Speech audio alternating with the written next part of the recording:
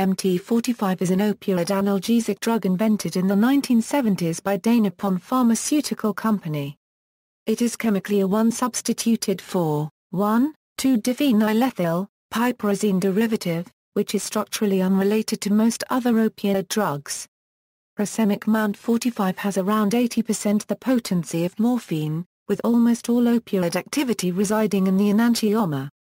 It has been used as a lead compound from which a large family of potent opioid drugs have been developed, including full agonists, partial agonists, and antagonists at the three main opioid receptor subtypes.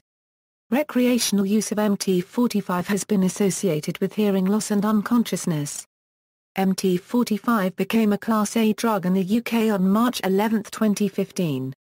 See also, AH7921, AD1211, diphenhydramine, ephenidine, fluorolintane, IC26, lanicemine, lefetamine, methoxphenidine, remacemide.